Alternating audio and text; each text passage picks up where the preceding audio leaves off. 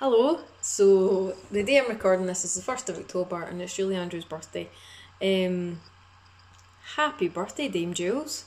So I thought I'd just do a wee, a wee take on a song from um, Sound of Music, sung originally by Dame Jules and Christopher Plummer. So hope you enjoy my take on it.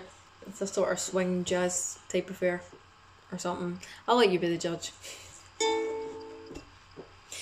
Perhaps I had a wicked childhood. Perhaps I had a miserable youth. But somewhere in my wicked, miserable past, there must have been a moment of truth.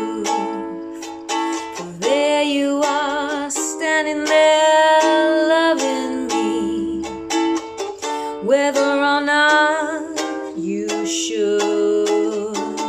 So, somewhere in my youth or childhood, I must have done something good. Nothing comes from nothing, nothing ever could.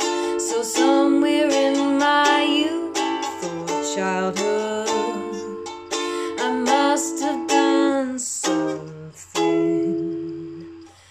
good.